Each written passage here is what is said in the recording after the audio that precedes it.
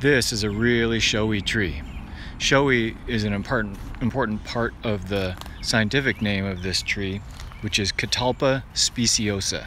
Speciosa means showy. So this is a tree whose genus name and the common name is the same, Catalpa, and it comes from the same Native American word that also gives us Catawba and Cahaba, like the Cahaba River.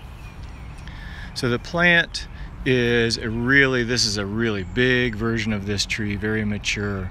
Um, the characteristic features of this plant are really big cordate leaves, really big.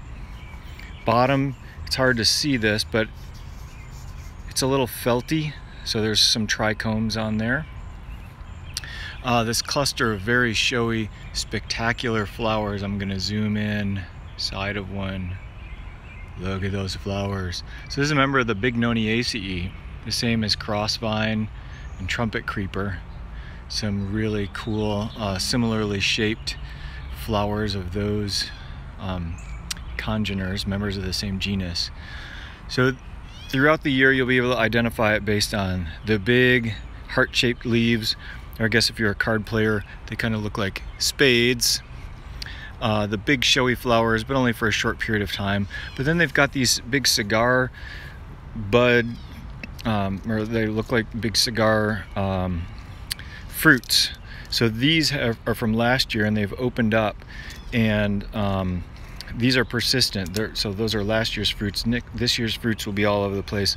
So you pretty much always be able to identify it either from fruit or from the flowers but the leaves are, are also mm, somewhat conspicuous in their size, not so much in their shape.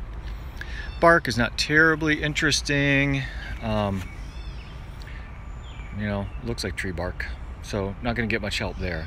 But mostly you're going to be able to identify Catalpa speciosa when it's so showy. Great plant.